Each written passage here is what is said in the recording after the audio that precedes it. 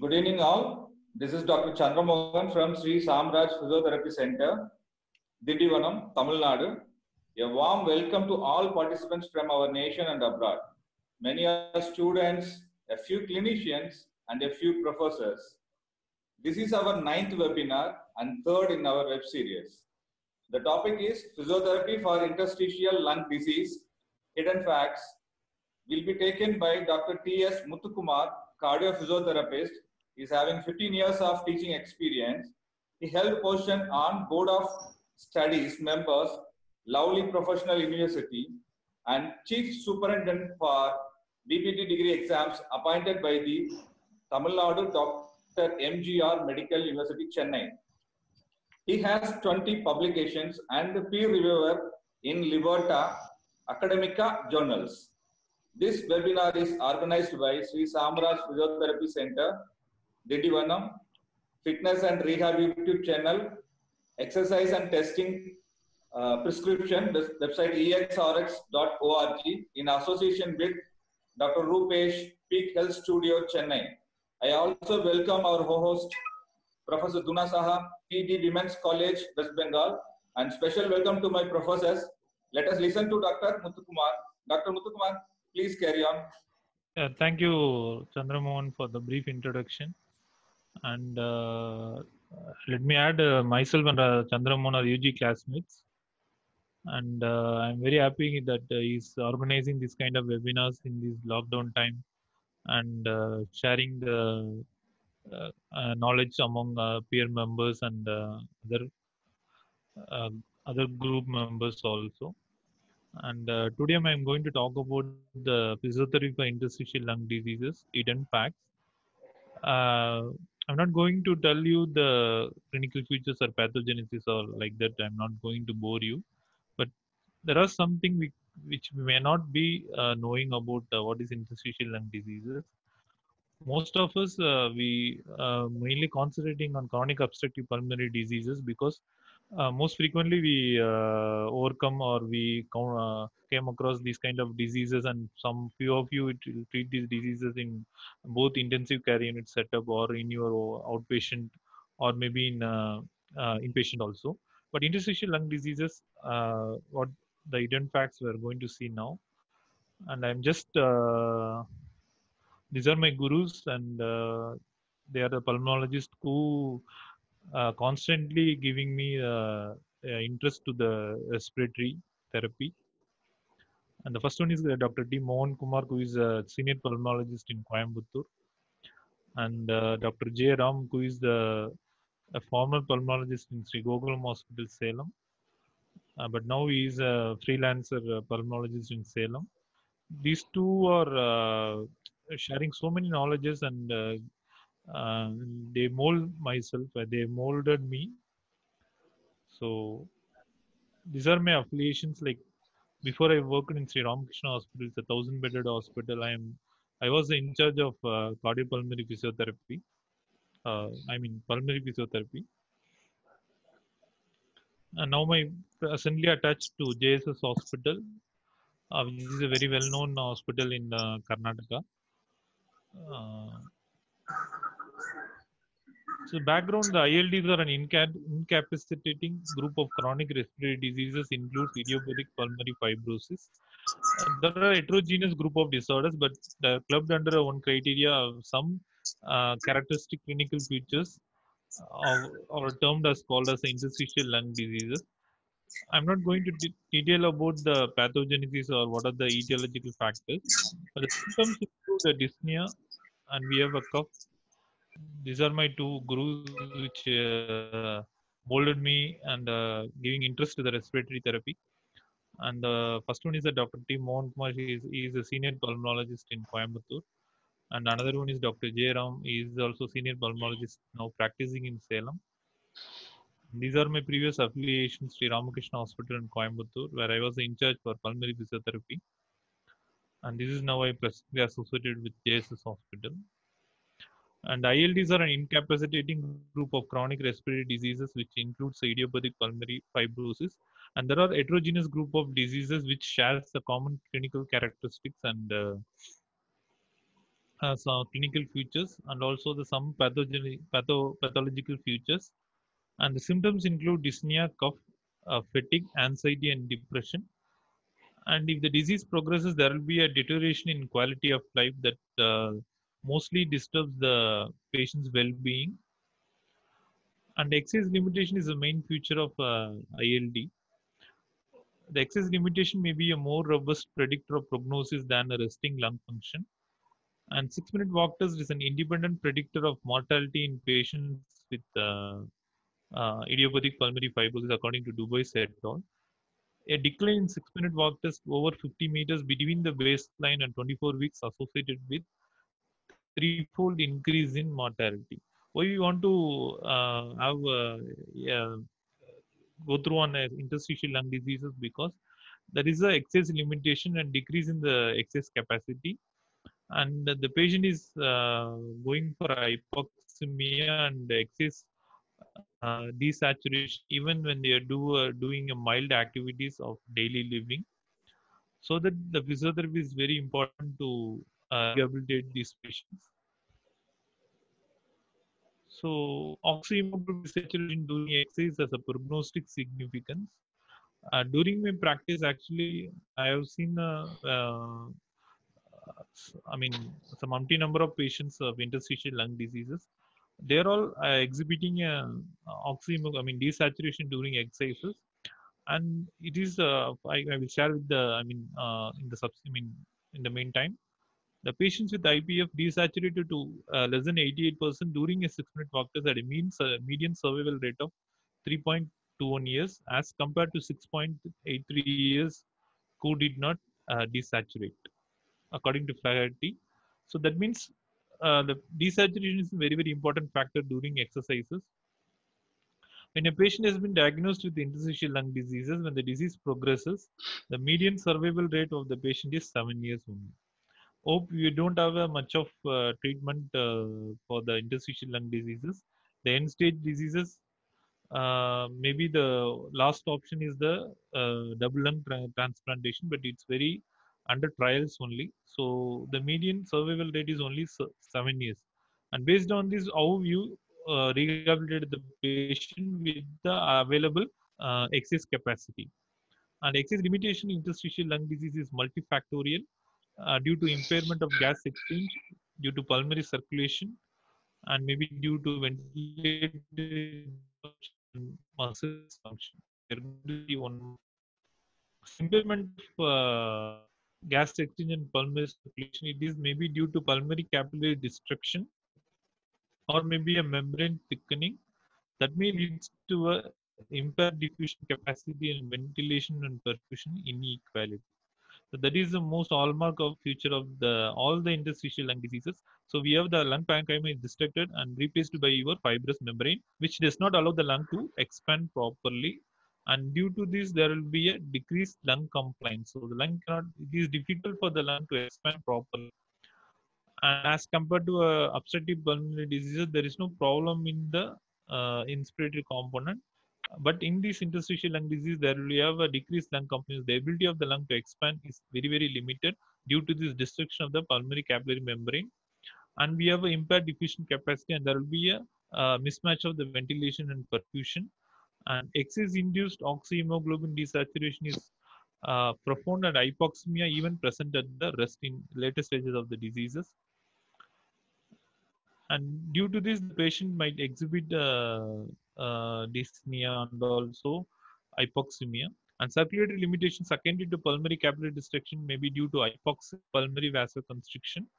And because of this uh, pulmonary vasoconstriction, there will be a hypoxic reaction and ventilatory equivalent for carbon dioxide at anaerobic threshold indicate the severity of circulatory impairment and predict prognosis. We don't allow the patient to do for any anaerobic uh, training or uh, we avoid the anaerobic for the interstitial lung disease patient. And pulmonary hypertension is one of the most important comorbidity interstitial lung disease due to the secondary uh, pulmonary capillary destruction and hypoxic pulmonary vasoconstriction. And when coming to the ventilatory limitation, the patients with interstitial lung diseases exhibit an abnormal respiratory pattern with decreased tidal volume and rapid respiratory rate during exercises. Uh, even when I uh, do uh, when I was the patient sometimes uh, exhibit like uh, when we visit the patient in a ward, we have an increased respiratory rate. The main uh, I treatment or maybe the therapy what we are giving is relaxation training to reduce the respiratory rate.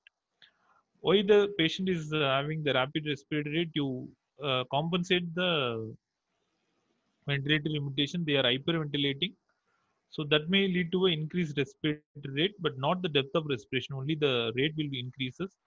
Uh, that will cause us again the respiratory muscle fatigue. So mainly we give a relaxation training for this patient. And abnormal ventilatory mechanics, these not the major limitation to exercise performance, but when the patient is having any, I mean, the elderly patient, this is the very important factor that limits the exercises because uh, we have to maintain a respiratory rate of over 12 to 16 uh, breaths per minute so we we we should increase the tidal volume and also we reduce the respiratory rate.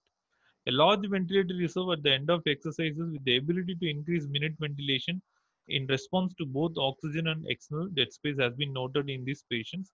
So they have to uh, compensate the uh, I mean uh, oxygenation by means of increasing the minute ventilation. But the problem here is most of the patients will have a decreased tidal volume but increase the respiratory rate. The ideology uh, then the idea began to improve the minute ventilations. You have to increase the both tidal volume and to increase the uh, rate or to increase the uh, minute ventilation. So our treatment aims to mainly to increase the tidal volume, not the respiratory rate. Other factors are important contributors to decrease exercise performance than ventilatory limitation. And another one is a muscle dysfunction, which is major contribute to the pathogenesis of IL, ILD because of why the uh, muscle dysfunction is maybe due to the inflammatory reaction to the pathogenesis of ILD. Antioxidant capacity is reduced in this patient and response to excess reactive oxygen species that is ROS in the lower respiratory tract is diminished because of the poor oxygenation and these two factors induce oxidative stress in the patient. This production of uh, response uh, like uh, response to excessive reactive oxygen that is commonly called as ROS, associated with a decrease in plasma total excuse me total antioxidant capacity after exercises. And when the patient is taking glucocorticoids and immunosuppressive therapy can cause uh, this drug-induced myopathy. And this muscle function is always related to the poor nutrition and, and aging. And association between aging and the poor nutrition and muscle function not cleared so far uh, based on the available evidence sometimes the patient is having some reduced quadriceps strength and endurance in uh, the, I mean, idiopathic pulmonary fibrosis, according to Mendoza, and distinctive pattern of disuse with greater atrophy and weakness in lower limb as compared to the upper limbs. And physical inactivity plays a major role in muscle dysfunction in advanced diseases. Why the physical inactivity? Because of the uh, excessive desaturation and hypoxemia and most of the patients limit themselves not to do any form of uh, proper exercise program. So based on this uh, i mean clinical scenario what we are going to see i mean uh, rehabilitate the patient and what is the evidence for the pulmonary rehabilitation? And we have uh, so much of accumulating evidence to support the short-term benefits of PR for ILD. Again, there is no much of long-term evidence a Cochrane review analysis, uh, analysis of nine RCTs of PR in ILD according to Dowman et al. The length of the PR program maybe ranges from 5 to 12 weeks and three studies supports aerobic training. And the four studies uh, supports both aerobic training and the resistant training. And one study will supports I mean supports the home-based PR program. And there will be a meaningful improvements in excess capacity were seen and the recommendations of guideline uh, recommendations for PR in interstitial lung diseases. There are recommendations for pulmonary rehabilitation. It's very across the international guidelines and statements. And American Thoracic Society and European Respiratory Society suggest short-term benefits from PR, according to Spruit et al. 2013.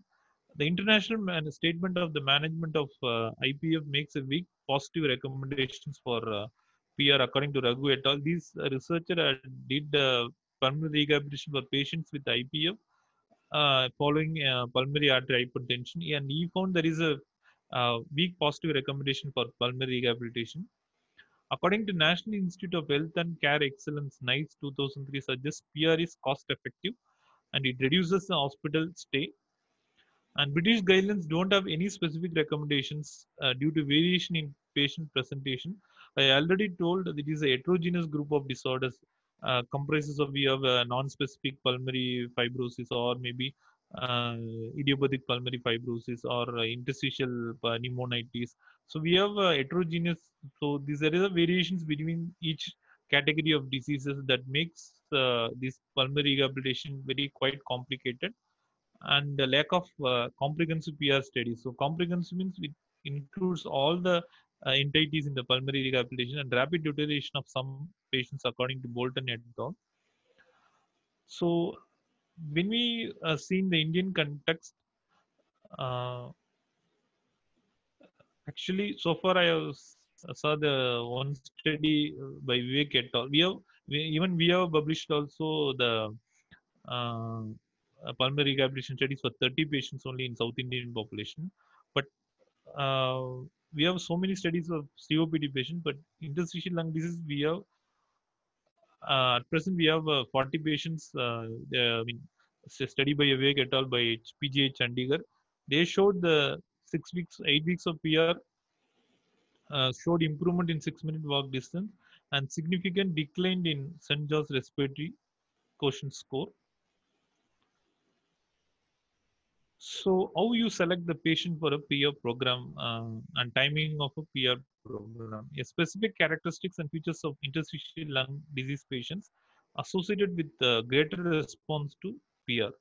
So, I already told the heterogeneous group of diseases. So, we have to select the patient based on the specific characteristics and uh, homogeneous features. And patients with higher forced vital capacity, less desaturation, on exertion and less disability on commencement of PR demonstrated greater improvements in excess capacity. So patients with lower vital capacity, more desaturation on exertion and more disability, when you include the patient on PR program, um, you don't get uh, much improvement. And more severe baseline breathlessness associated with a larger improvement in dyspnea at six months after the PR according to Holland et al. And uh, uh, pulmonary rehabilitation for milder diseases is more likely to produce a positive outcomes according to Ryerson. The current evidence does not identify the ideal timing of PR for ILD when to uh, refer the patient for a pulmonary rehabilitation. And yearly referral is the key factor, but again, uh, there is no specific criteria like when you send the patient to the pulmonary rehabilitation program because uh, these patients have uh, homebound mo- most of the times have limited excess capacity. Uh, the difficulty in transporting these patients to the outpatient pulmonary rehabilitation program. As such, when you compare to the COPD diseases, they have acute exacerbations during a, uh, a winter or maybe in a flu season. But these patients have uh, frequent hospitalizations, but not much as compared to a COPD and there these patients also have acute exacerbation. But the problem in this patient is uh, i already mentioned there is a reduced excess capacity and excess desaturation so early referral is a very key factor of this patient so the length of the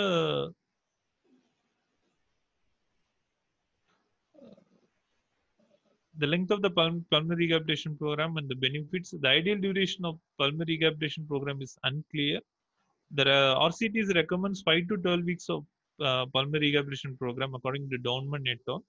The longer PR may assist with maintenance of benefits, but one study uh, by uh, um, another researcher has found that uh, maybe 12 after 12 weeks of PR they had followed for the 11 months, and uh, even if they have followed up for 30 months, but there is no much of improvement in these patients after a 30 month follow up also because of uh, there are so many reasons the complaints of the program is not good and also the patient participation and the family support.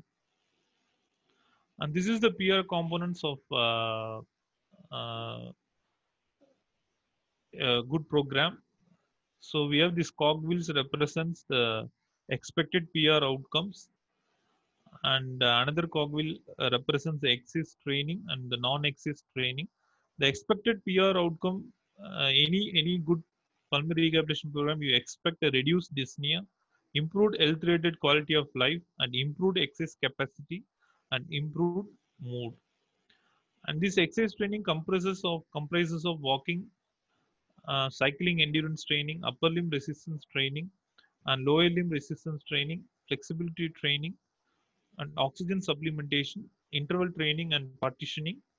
And non-exercise training program comprises of a symptom control, how the patient can control his symptoms, and how the PR program gives a psychological support and a nutrition support to the, uh, I mean, uh, a lean person or a, those who have uh, undernourished, and education about the self-medication symptom control. So the gears with the red, green, and yellow color represents the expected PR outcomes. And the green gear is bigger than the yellow gear because the exercise training has more evidence than the non-exercise training. And the cogs of gear indicates their component. Okay. And uh, comprehensive intervention in PR can be accomplished when the gears mesh together and cogs work well. And uh, cooperation, smooth connection of all these are vital to the make PR successful but in the indian context it is very very difficult for us to uh, coordinate all the uh, team members in a pr program and even when i was working in a ramakrishna hospital we had a uh, actually we do a inpatient program but outpatient program uh, we, actually i was working there for eight and a half years. We had still four patients uh, for outpatient pulmonary rehabilitation program and uh, three for three COPD patients and I mean sorry two COPD and two ILD patients. And one patient uh, two patients are from Kerala. They are staying outside and they are coming for outpatient pulmonary rehabilitation program. And interstitial patients are from Coimbatore alone but the problem in these patients are I already told difficulty in transportation because they are depending on somebody else to come to drop them in the hospital and waiting for 45 minutes uh, we actually uh, told the patient to come for three to four weeks uh, daily, maybe three weeks a day. I mean, usually three days in a week. But again, they, they found very difficult. So exercise training is a very critical component of a pulmonary rehabilitation program. It comprises of uh, endurance training, uh, resistance training, and flexibility training and stretching. And always you consider uh, a few practical considerations. You always monitor dyspnea during exertion using Borg scale, or uh, usually we used to uh, measure using Borg scale. because that is the ideal scale for rating of perceived exertion. And always monitor uh, oxygen saturation. We always keep the uh, pulse oximeter in the patient uh, fingers and assess any disease progression. And in my uh, experience, I always uh, suggest supervised exercise program for a ILD patients. And the goals of this endurance training is to improve the exercise capacity, aerobic capacity, and increase the exercise endurance, and to improve the daily function. And intensity is at 70 to 80 percent of maximum exercise capacity. And frequency is two supervised sessions per week. And duration is 30 minutes with uh, shorter intervals and 15 minutes stationary cycling and 15 minutes walking on corridor and you can progress maybe through three to five sessions per week and ideally uh, two two supervised to three supervised sessions per week and you can use a arm ergometer or a leg ergometer or you maybe you can use a treadmill also or even you can use a walking car walking in a corridor also. You can divide the uh, usually when the patient is elderly you always prefer with the shorter uh, workload and the longer interval i mean uh, rest periods. For example if you do a 10 minutes of uh, uh cycling or a 10 minutes of a walking or a 6 minute of you can give a rest rest periods of about twice the time for elderly. And this is one of the patient uh, she's uh, um, 65 year old but no, she's not she is she's no more now. And uh, she usually come uh, the she enrolled for four weeks of uh, pulmonary rehabilitation program but what we suggested for eight weeks of pulmonary rehabilitation program but she could come only for a four weeks. And the problem for this patient is uh, she is having a rheumatoid arthri- arthritis patient. So she not able to walk. So we uh, tell them to body supported uh, arm ergometer. And uh, she used to come uh, two to three weeks i mean two to three days per week. And again the problem is transportation only and this patient quickly de- she uh, desaturates during exercises. So she we, she always be monitored and supervised by the physiotherapist who is treating her. But other comorbidities the patient is having a diabetic and rheumatoid arthritis. So that maybe hampers the rehabilitation process. A resistance training again it is of uh, very inconclusive and uh, in ILD patient. But some studies have favored this and improves the local muscle strength and endurance. And resistance may be in the form of gravity or own body weight or some use of free or fixed weights. And ACSM guidelines uh, suggest that two to three days per week and 10 to 15 repetitions and a single set for older persons according to Garber et al. But uh, do, uh, based on my experience, I never uh, suggested resistance training for the in- interstitial lung disease patient. I usually prefer the endurance training and aerobic training. And uh, alternative, you can suggest the stair climbing and sit to stand activities for 15 seconds sit to stand or 30 seconds sit to stand. Flexibility training, the mainly to increases the range of motion of joints and muscles. And ACSM guidelines two to three days per week with 30 to 60 second stretches, repeated two to four times for older people according to Garber et al. So the flexibility training can uh, do uh, some stretches. So interval training, it's alternative to endurance training. And uh, again, uh, it's a relatively high intensity training with periods of low intensity exercises with or without rest. Lacks of evidence for ILD. Lacks of evidence for interstitial lung diseases due to the we don't have much of uh, OCTs for the interval training. And consideration for exercise training, you always consider the sub. Whenever you suspect the patient of any uh, pre-exercise desaturation, always gives uh, oxygen therapy uh, during training, and always keep the oxygen saturation greater than 82 percent. Uh, actually, I have to share one patient. Uh, quite uh, admitted in inpatient for uh, uh, respiratory uh, infections. But the problem when the patient we have do a pre-test of six minute walk test, pre-test values are uh, oxygen saturation is 95 percent, uh, 95 percent, and respiratory rate is around uh, 15, and Borg scale is of about uh, 11, and the older older scale.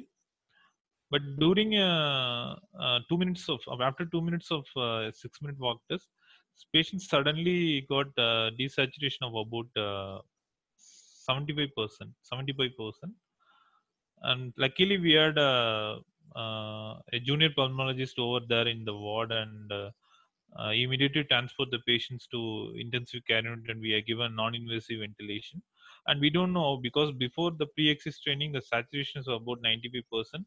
And the age is also uh, around uh, 49 per patient. She's a female patient. But suddenly she deteriorates uh, we don't know why the uh, she deteriorated during a six minute walk training.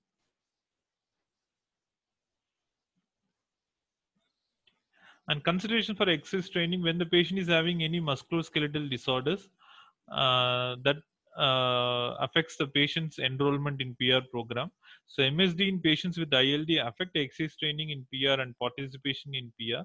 And patients with connective tissue disorders have joint pain, stiffness, and limitation in continuing a, a PR program. And weight bearing activities such as walking may be avoided. So we can use the arm ergometer and body supported ergometer arm and leg ergometer and you can use a stationary bicycling and resistance training should be avoided in this category of patients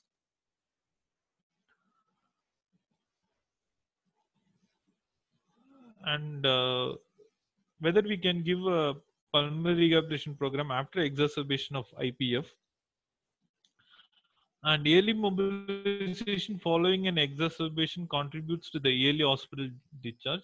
And recent guidelines also uh, suggests that even you can mobilize the patient in ICU. And we also tried so many type patients in ICU setup also, and based on the ICU uh, mobilization scale. But cautious approach might be required for the commencement of PR following acute exacerbation. The patients with high risk criteria such as greater desaturation on exercises, greater hypoxemia even at rest, and associated comorbidities are excluded for a PR program. Again, there is a debate whether you can enroll the patient after the exacerbation of IPF. And I have to mention these kind of high risk patients should avoid the pulmonary rehabilitation program immediately after the exacerbation of IPF.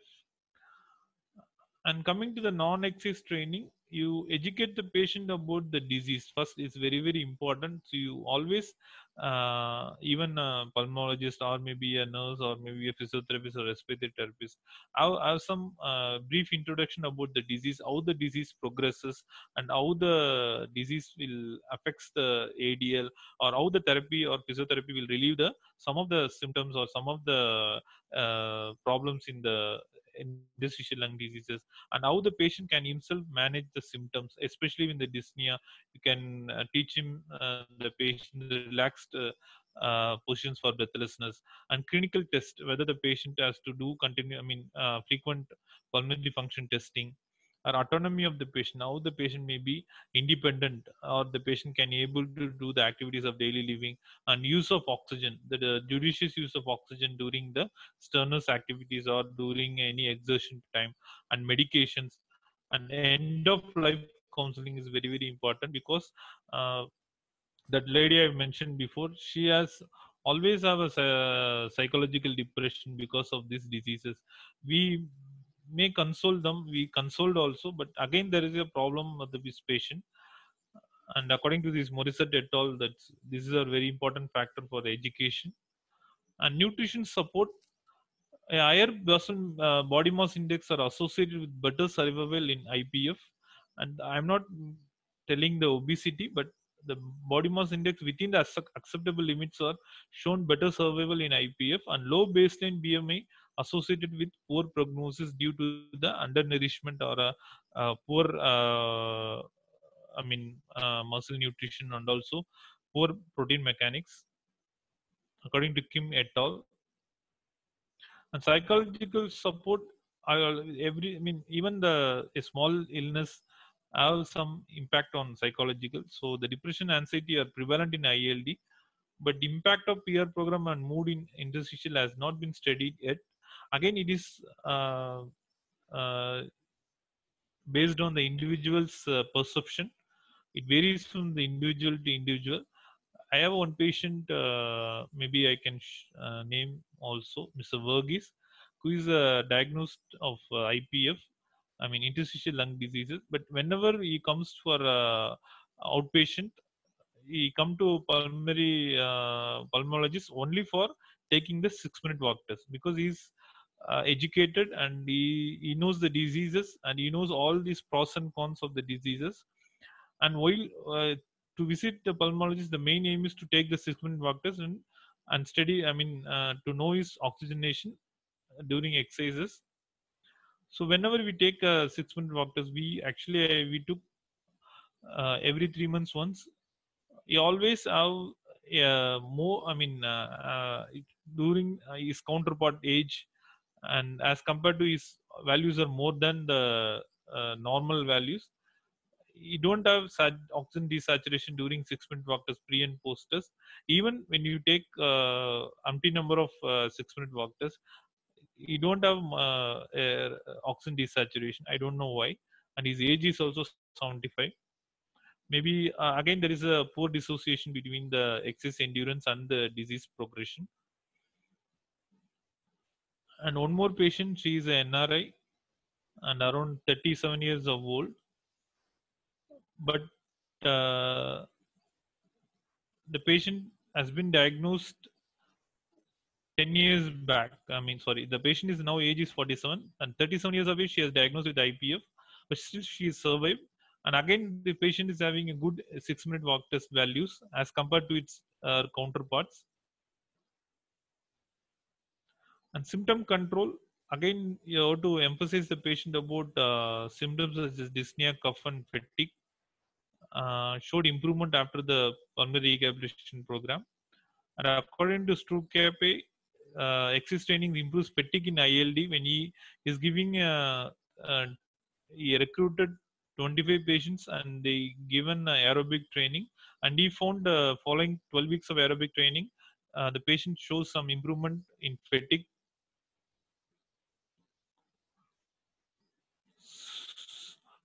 so this is the uh, PR program where we have access training program and non-access training program. But based on this, how we can say the patient is having, uh, I mean, benefited or uh, we can uh, we can make a prognosis of better that patient can able to get better. So this is based on the clinical risk prediction model. It comprises of your age, respiratory hospitalization, and forced vital capacity of percentage predicted and six minute walk distance and 24 week changes in forced vital capacity uh, predicted and six minute walk distance. Out of this we mainly uh, focusing on a six minute walk test and the age. So this is the multivariate analysis of uh, uh, i mean uh, patients uh, PR program in patients with idiopathic pulmonary fibrosis and this is the study by the uh, i mean uh, actually this uh, I, I forgot the name i will tell you. He compared the original clinical model and the novel clinical model. According to age when you compare the age of more than 70 years the hazard ratio is more that is 2.21 and the novel novel clinical model also it's more of hazard ratio. The age of around 60 to 69 the hazard ratio is very less as compared to age greater than 70 years. And less than 60 we have a very less ratio. And respiratory hospitalization we have more hazard ratio uh, because again frequent respiratory hospitalization will uh, minimize the chance of survival. And then baseline that is forced vital capacity predicted the hazard ratio is less than 50 is 5.79 and 51 to 65 is 3.54 and 60 to 79 is 2.2 and greater than 20 80 percent of forced vital capacity is ideal. And then 24 week change in uh, forced vital capacity percentage of predicted is so greater than 5 is having a, a good prognostic value. And baseline 6 minute walk distance is according to the novel clinical model we don't have original clinical model because of the less evidence. The less than 250 meters again the patient is having high risk ratio. If 250 to 349 meters and we have a 1.28 ratio and then greater than 350 meters it's having a less ratio. And again the more than 350 because what i already told the patients mr Verghese and all they usually have uh, every time we can take they usually cross 360 meters 380 meters. So based on my experience those patients have uh, more than 300 meters we have a good prognostic value in the six minute walk test. And uh, i have seen so many patients which does not cross even 60 meters. And we have a very poor prognosis. And 24 week change in 6 minute walk distance also a less than 50 is very critical. And uh, we are going to see next about minimal clinical important difference. Because the minimally clinical important difference of 50 meter is a better predictor of prognosis in ILD patients. Okay, this is the prognostic value, prognostic value of changes in physio- physiology in six minute walk test. When the patient start minutes of ambulation and the desaturation area is shaded, the first minute you don't have a much of saturation, desaturation. When it progresses, actually the uh, six minutes there is a more amount of desaturation when the patient is having a more severe symptoms the desaturation area was defined as the total area above the curve created using desaturation percentage values at baseline and at each subsequent minute of the six minute walk test. That is, you sum up the differences of the saturation of 100% and the patient's SaO2 at each minute. So you sum up and you can find out whether if there is a more desaturation area, again, there is a more prognosis, uh, poor prognosis. A patient with an SaO2 of 98% at each time during the six minute uh, would have a desaturation of 12. So which is very uh, quite okay. But the desaturation of plus two is when the start is almost uh, we can acceptable, but when the six minute at the completion of six minute the desaturation of 14 is not acceptable. We uh, in this scenario, they stop the six minute walk test when patient, patients reach a saturation of 86% and a desaturation score of 14% were assigned for that for that minute and all subsequent minutes of six minute walk test. And higher desaturation area indicates a higher overall quality of desaturation during the six minute walk test. So desaturation is one of the very, very important factor and six minute walk test is widely used to predict and measure excess capacity in PR. And reproducibility of six minute walk test is confirmed in ILD uh, diseases according to Eaton et al. Uh, so far, there is no serious adverse events during six minute walk test. And uh, minimal clinical importance of 550 meters is very, very essential between the pre and post test. Or you can give a, for example, when you recruit the patient for a eight weeks of PR program, so the first week you take this six minute walk test of about uh, uh, 200 meters. After the eight weeks, you can measure the six minute walk test of if the patient is crossed 260 meters. It is ideally good. And future directions of PR is again um, the comprehensive PR program for end stage diseases, especially in the um, uh, even the hypoxemia at rest. That patient also can be included in the PR program and effect of PR on healthcare cost that study may also be uh, incorporated in future directions. Again, the comprehensive PR program. We have a comprehensive PR program for COPD diseases, but we have a very less comprehensive PR program for a interstitial lung diseases.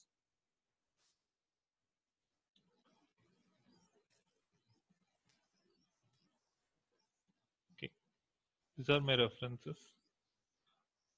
Thank you. Any doubts? I mean, Any questions, uh, participants, you can uh, write in uh, chat or you can uh, ask. You can unmute your mic and you can ask. yeah, what are the views about cough? Again, the Yes. cough, uh, it is not the main important factor. Again, uh, cough is very, very important factor in uh, uh, occupational lung diseases, especially the patient is having any a cotton worker or maybe a coal worker pneumoconiosis that may be taken as a consideration.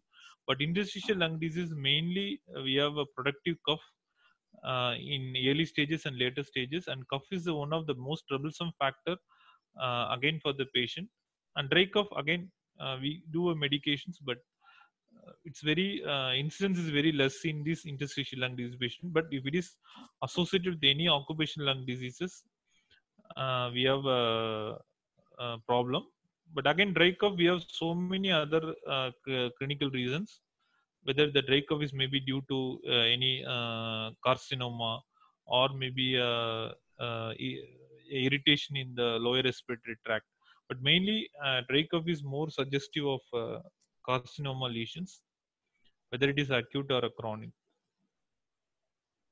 And what about the ILD due to Next question. occupational lung? What about ILD due to occupational Yes. lung disease? Yes, especially you have uh, occupational lung disease has some characteristic features of interstitial lung diseases, especially the radiation pneumonitis or interstitial pneumonitis when the patient is having uh, long-term chro- chronic exposure of like coal work, coal work, I mean coal or maybe cotton, uh, sugarcane industry. All these patients have a uh, actually clinical history. I'm actually I missed that how to diagnose uh, interstitial lung diseases. We have a good clinical uh, history taking, and then we have to take the pulmonary function test. But the ideal thing is to HRCT, which will definitely uh, confirm the diagnosis of interstitial lung diseases with cavitating lesions and increased pulmonary vascular markings. And all the occupational lung diseases have some characteristic features of interstitial lung diseases. So that I already told the interstitial lung diseases is a heterogeneous group of diseases with some similar characteristic features. And can we use inhalers to increase oxygen supply in this patient? So inhalers are mainly meant for a bronchodilators only. Uh, we can't increase the oxygen supply. We can increase the exercise training that we can increase the uh, relaxation training or we can advise the patient for relaxation training and we can advise the patient for uh, diaphragmatic breathing exercises. Thereby we can increase the minute ventilation and increase the uh, oxygen supply. But inhalers are mainly meant for the bronchodilators. Okay. For which age patients resistant training can be given in program, program? Please mention the age criteria and the improvement with the PR different training program.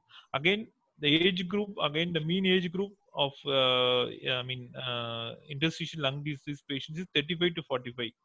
That time only they diagnosed as the interstitial lung disease patient. So these age groups, you can give a resistant training, but mostly in our Indian context, uh, these interstitial lung disease patients have a later uh, clinical presentation only during a 50 or 55 years of age because of the continuous occupation exposure. So that time uh, we cannot give a uh, resistant training, but 35 to 45 age group we can give a uh, resistant training. And which breathing exercises are helpful for ILD except diaphragmatic?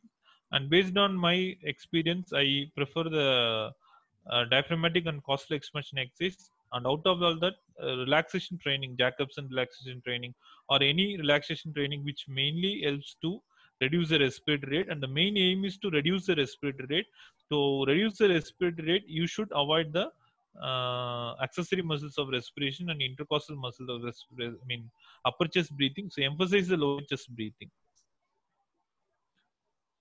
and inspiratory muscle training have some uh, effect on uh, uh, improve the symptoms in the we can use the threshold devices also. Again there is a uh, very limited evidence using a threshold device. And we can use a disease specific questionnaire like st george respiratory questionnaire to uh, measure the outcomes and SGRQ is uh, it's a very good easy to administer.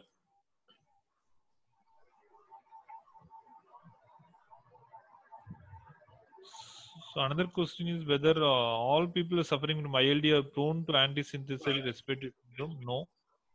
Very few patients.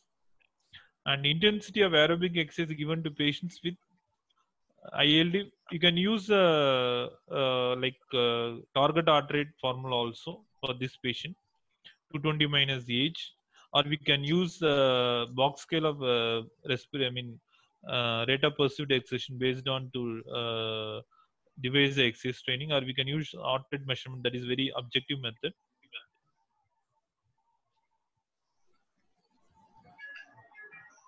So brief out all the exercises that be given the PR program for geriatric population. Again, for the geriatric population, it is individually tailored. We don't have a set of uh, exercises for uh, everyone because based on the uh, their uh, dyspnea levels, based on their uh, six-minute walk distance, or based on their initial level of fitness, fitness, can, can individually tailor the exercise program. So what are the main possible outcomes should be focused first in ILD? The main possible outcome we can focus is the oxygen saturation. How you may improve the oxygen saturation during exercises.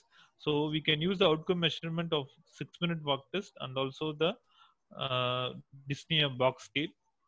The fastest outcome mainly due to the exercise endurance only.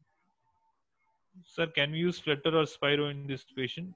There is no much of evidence because Flutter is a positive expiratory pressure device. We can use only with the time when the patient is having a more of tenacious secretions which cannot be able to improve. And again, incentive spirometer is for a lung re-expansion therapy. So we can use, but there is no much of evidence in the ILD patients.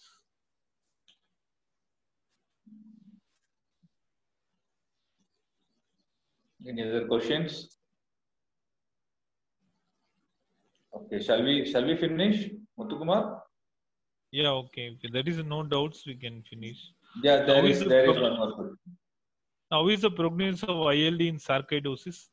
Yeah, sarcoidosis, uh, we have a very limited prognosis. Again, it based on the uh, level of, uh, I mean, uh, whether the patient is having a chronic and how many years they have been suffered with the sarcoidosis.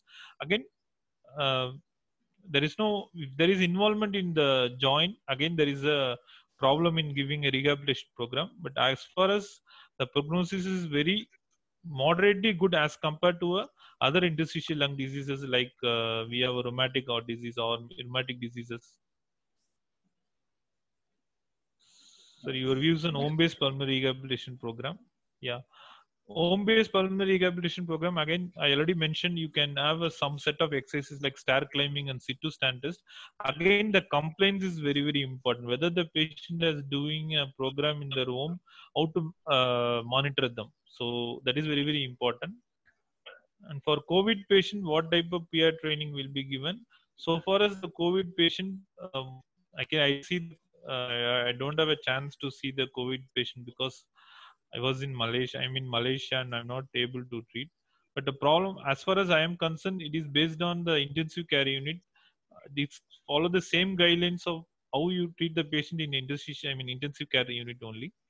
After post rehabilitation, again in Indian context, we don't have a much of problem in the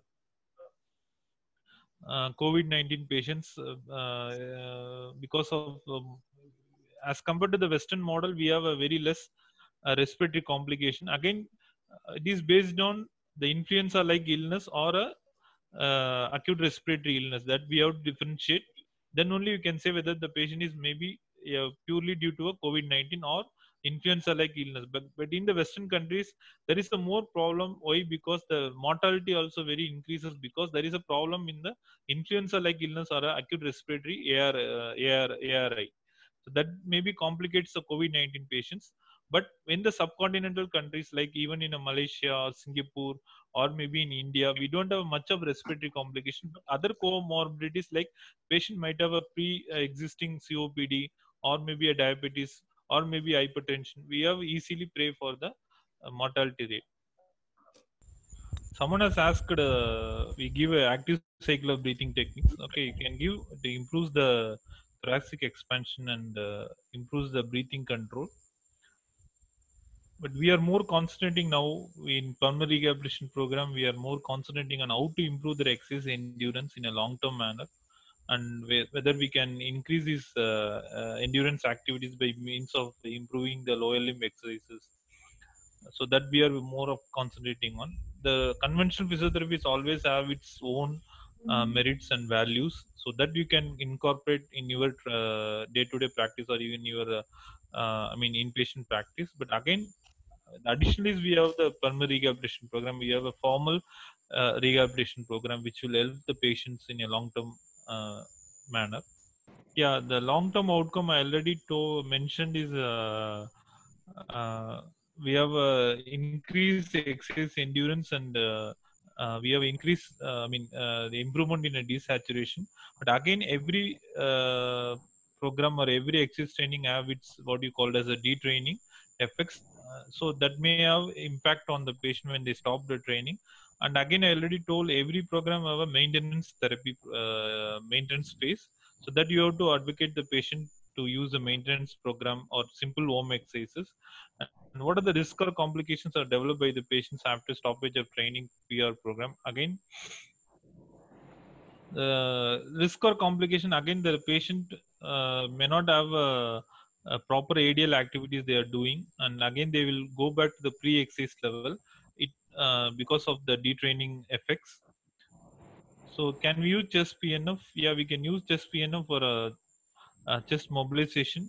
And again, there is a evident in COPD patient uh, they use some uh, osteo- osteopathic technique and the PNF technique to improve the mobilization in uh, um, COPD. Again, there is a same effect we can use in interstitial lung disease patient to improve the chest expansion. Again, this is very confined to the uh, program when there is a obstruction in the outside the chest wall, that is extrathoracic causes. That is uh, helpful, but I, I don't think about the intrathoracic causes which will obstruct the inspiration process.